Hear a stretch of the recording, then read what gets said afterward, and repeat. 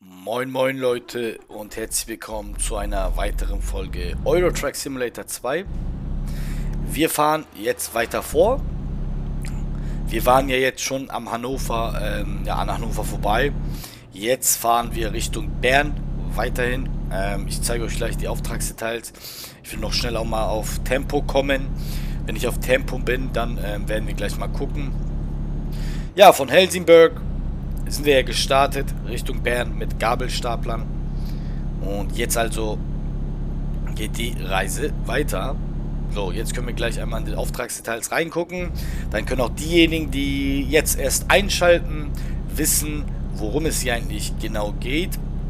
Ja, wir transportieren Gabelstapler nach Bern, also in die Schweiz, besser gesagt. Und jetzt können wir mal gucken. Ähm, hier sind wir gerade. In Hannover also oder bei Hannover. Müssen jetzt Richtung Kassel, Frankfurt am Main, Mannheim und dann ähm, ja, sind wir auch schon hier in Schweiz. Ja, wie ihr sehen könnt, 47.000 Euro, also fast 50.000 Euro. Restzeit haben wir noch genug, schätze ich zumindest. Ja, das soll es gewesen sein mit den Auftragsdetails. Jetzt also ähm, geht es wieder weiter. Oh, ich muss hier links, ich muss hier links, lass mich vorbei. Ja, sehr gut. Ja, Leute. Wie ihr sehen könnt, schreiten wir weiter und weiter voraus. Ich trinke jetzt einen Schluck Kaffee, nicht wundern. Ah, sehr schön. Ich liebe Kaffee. Gerade morgens. Achso, ja, ich nehme das Video gerade morgens auf. Deshalb bin ich noch ein bisschen noch nicht so frisch. Also frisch wach, aber noch nicht so ganz frisch im Kopf. ja. Clark P. Einkommen 333. Sehr schön. Einer unserer eher neueren Mitarbeitern. Ja, Leute. Wie ihr sehen könnt, fahren und fahren wir weiter Richtung Bern. Erstmal werden wir in, Richtung Kassel fahren, dann Frankfurt am Main hatten wir ja auf dem Schirm und dann werden wir mal sehen. Und das Wetter ist auf jeden Fall sehr schön. Wie ihr sehen könnt, da ist der ganze Auflieger nochmal in seiner vollen Pracht. Ja, so soll es sein, Leute, so soll es sein bei so einem schönen Wetter fährt man dann ger gerne LKW.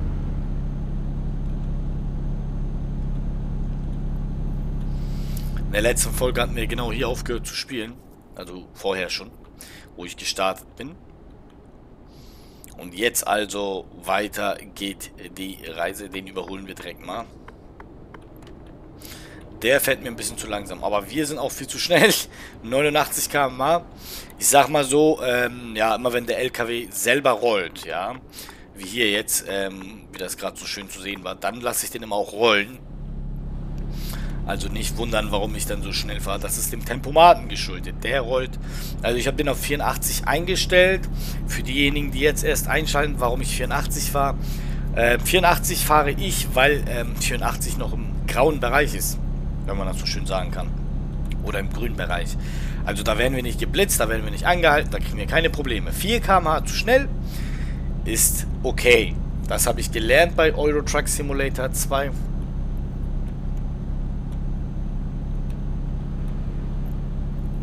So, deshalb fahre ich dann immer so schnell und wenn dann mal bergauf, bergab geht, dann rollt der LKW halt schneller runter und dann ist man mal schnell auf knapp 90 km/h und dann ja, lasse ich den auch so rollen. Also bis jetzt gab es da keine Probleme hinsichtlich von Blitzern und Polizisten. War bis jetzt alles okay.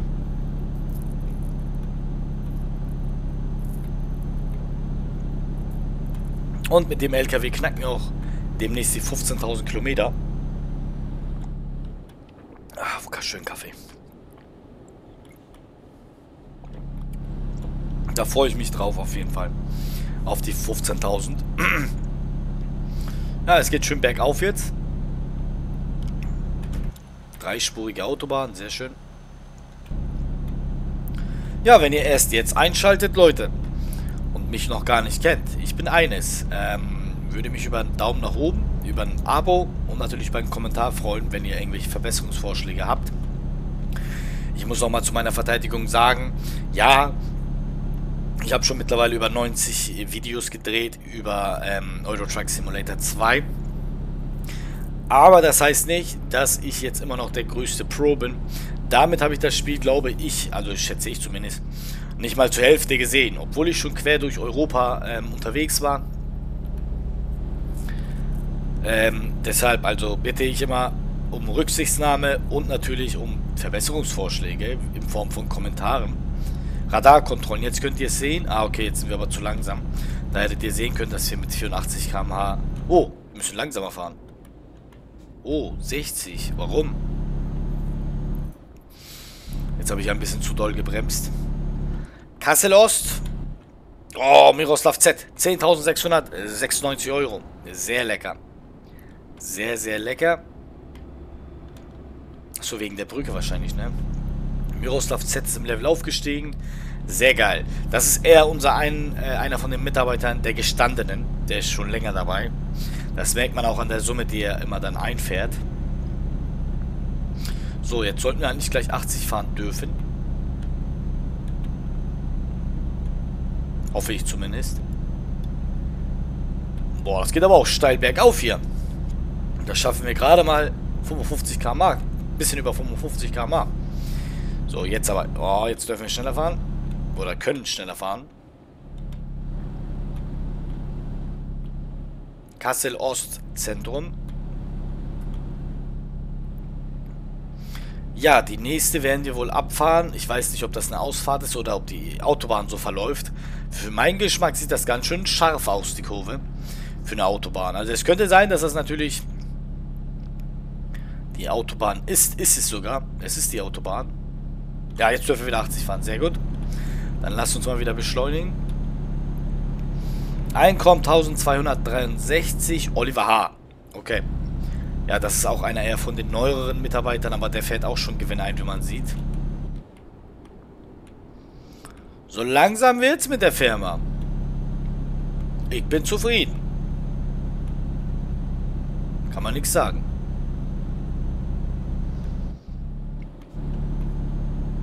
Ah, jetzt brummt der LKW aber auch ordentlich. Bergauf, du, oder muss der LKW richtig arbeiten?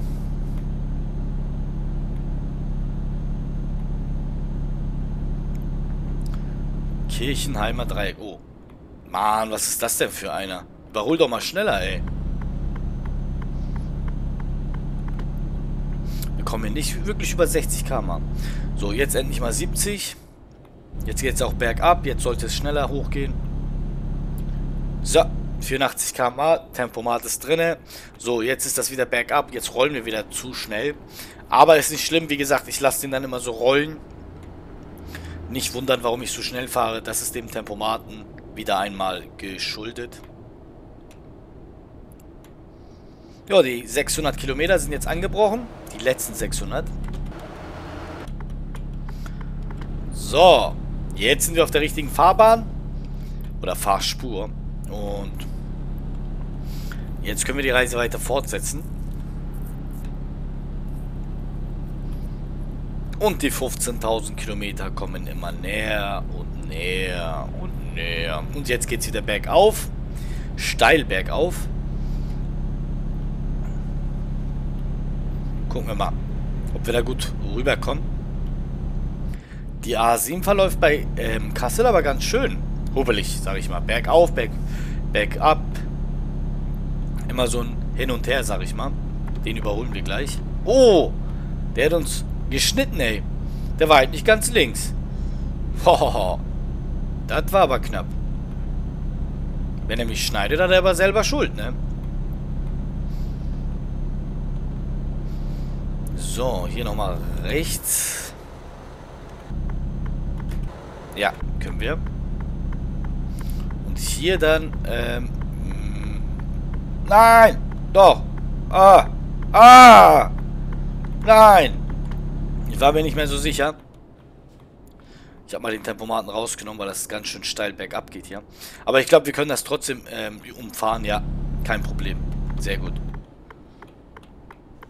Sehr, sehr gut. Ich dachte, jetzt müssen wir wieder irgendwo 50 bis 100 Kilometer Umweg fahren. In Bulgarien war das ganz schlimm. Ne? In Bulgarien war das nicht so, dass man direkt, wenn man sich verfährt wie hier, ähm, ja, einfach weiterfährt und dann ist man quasi wieder auf der richtigen Spur. Oh, jetzt sind wir aber ganz schön schnell. Oh, ich lasse den gerade ganz äh, nur rollen. 100! Wow! 100 km/h! Leute, Wahnsinn. So, jetzt einmal links. Ja, sehr geil. 100 km/h habe ich mit diesem LKW noch nie geschafft. Muss ich ehrlich mal sagen. Auch wenn es nicht ganz legal war hier. oh. Okay. Jetzt müssen wir bremsen. Hier ist ja was los. Oh, ein Laster. Total verkohlt. Jetzt will ich aber rüber. Ja, da ist richtig was los. Rasthof, Grafen, habe ich jetzt nicht lesen können.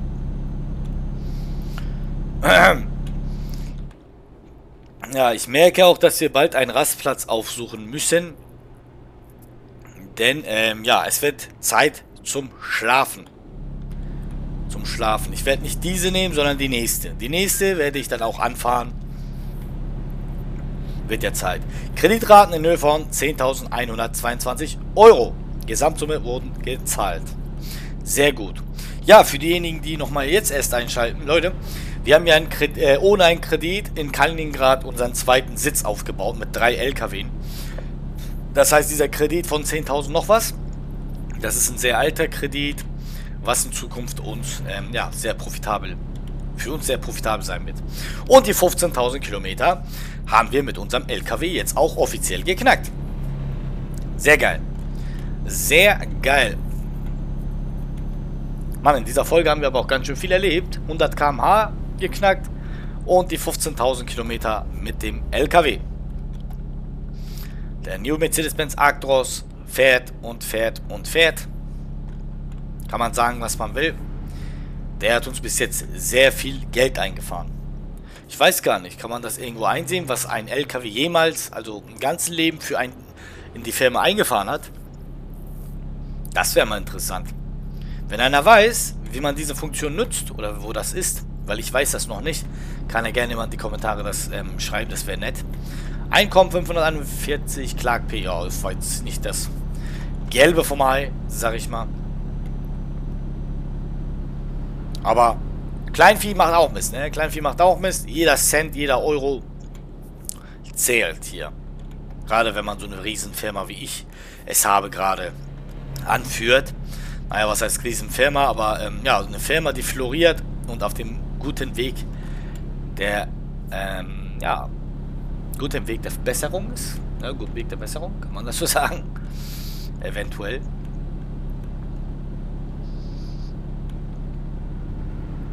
Oh, was ist da denn vorne los wieder?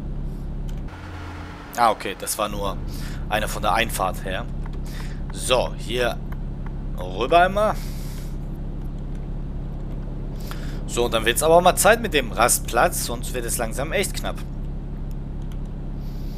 Aber sollte demnächst mal einer kommen, denke ich mal. Hoffe ich zumindest, Mensch. Wo bleibt die denn? Oh, schöne Walze. Walze.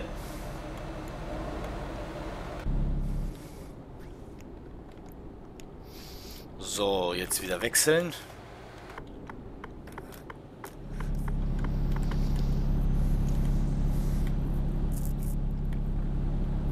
Ich glaube, das wird langsam knapp mit dem Rastplatz hier. Nürnberg, Mannheim, Frankfurt am Main, München, Stuttgart geradeaus. Ja, wir müssen natürlich Richtung München, Stuttgart, würde ich mal sagen. Weiter geradeaus durch.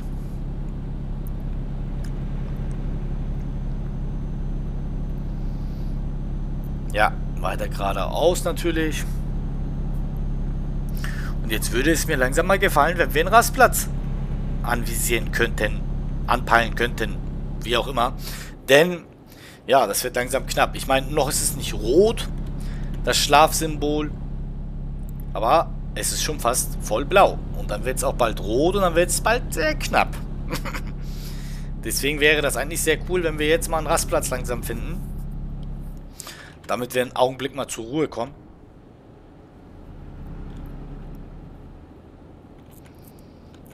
Hm. 485 Kilometer noch insgesamt.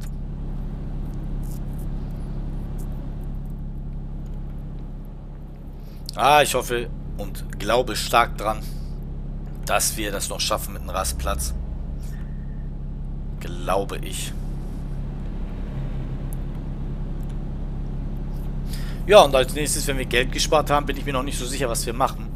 Ob wir uns jetzt einen neuen LKW holen oder ob wir ähm, vielleicht nochmal die Firma vergrößern. Muss ich ehrlich sagen, dass, da bin ich mir noch nicht so ganz so sicher. Ja, ich spiele das Spiel auch als Newcomer, sage ich mal, also habe wirklich nicht so viel Ahnung. Dementsprechend weiß ich nicht, was effizienter wäre. Wäre es effizienter, jetzt sich noch einen LKW zu kaufen oder seine Firma zu erweitern? Ich glaube, ähm, letzteres. Seine Firma zu erweitern wäre nochmal intelligenter. Könnte man sich nochmal einen Sitz irgendwo aufbauen mit drei LKWs. Oder nee, wir verbessern erstmal Kaliningrad auf fünf Stufen. Das heißt, äh, nochmal zwei Garagenplätze dazu bauen. Dann haben wir fünf, dann können wir zwei LKWs kaufen. Irgendwie so. Macht mehr Sinn. Dann kriegen wir auch die Tankstelle in Kaliningrad freigeschaltet ab, dem, ab der dritten Stufe. Also wenn man ähm, Garagenplätze hat, bekommt man ja mh, mm, eine Tankstelle. Und bei dieser Tankstelle, firmeneigene Tankstelle quasi, spart man immer 15% auf den Sprit. So, jetzt weiß jeder, der meine Videos verfolgt, dass man bei Kaliningrad bzw. in Russland sehr, sehr wenig für den Sprit bezahlt. Also, ja, genauer gesagt um die 50 Cent irgendwie. So, und das ist dann nochmal eine Ersparnis von 15%. Ich bin jetzt nicht so gut im Kopfrechnen. ähm, ich denke mal, das sind so ja, 10 Cent bestimmt. 10 Cent, ja. Ungefähr. Mehr als 10 Cent, bisschen mehr als 10 Cent. Oh, ich bin viel zu schnell. Ja, wie ihr hören könnt, gehend unser unser Fahrer schon, beziehungsweise ich, ich, also ich bin ja der Fahrer. ähm, dementsprechend wird es wirklich knapp jetzt mit einem Rastplatz. So, einmal geht er noch, glaube ich, und dann wird es rot die Anzeige. Und dann, ja, wird es eng. Wird es höchste Eisenbahn, dass wir endlich einmal ins Schlafen kommen. Ja, müssen wir mal gucken. Da, jetzt ist es rot geworden. So, jetzt wird es richtig kritisch. Jetzt kann ich sagen, es wird wirklich kritisch.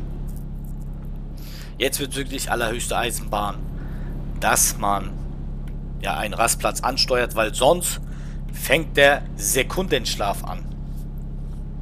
Und das ist dann wirklich nicht mehr witzig. Das ist dann wirklich nicht mehr witzig. Ich hoffe, wir fahren jetzt bald mal einen an.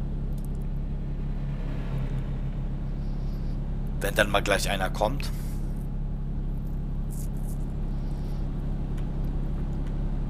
Kaffee habe ich auch leider nicht mehr. Uh, es wird knapp. Es wird knapp auch noch bergauf jetzt hier. Scheint auf jeden Fall so, dass wir bergauf fahren, ja. Dementsprechend verlieren wir Geschwindigkeit, brauchen ein bisschen länger und ich sehe immer noch keinen Rastplatz. Oh oh, Leute, das wird knapp. Wetterumschwung, auf einmal sehr bewölkt hier. Oh Mann, kein gutes Zeichen hier. Wetter spielt nicht mit. Fahrer müde. Ne? Alles nicht so positiv. Kein gutes Omen für uns. Oh Mann. Das wird eng. Ich will einmal auf der Karte gucken, wie weit das weg sein könnte oder ist. Ah, da. Ja. Ich weiß nicht, wie viele Kilometer das noch sind, aber ähm, es erscheint mir doch schon ein bisschen weiter. Schauen wir mal.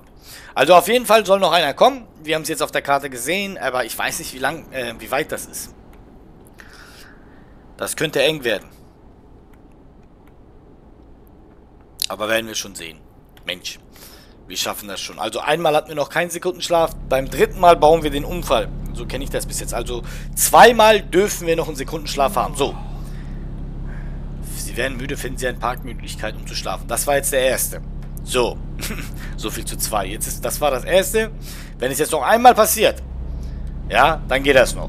Beim dritten Mal, dann ist Feierabend. Dann landen wir irgendwo, ja, vielleicht irgendwo hier auf dem Berg oder auf der Seite. Oder im Gegenfahrbahn, noch schlimmer. Also Gegenverkehr, das muss dann auch nicht sein. Naja, schauen wir mal. Ob wir das noch schaffen. Oh, das wird wirklich eng. Das wird wirklich eng.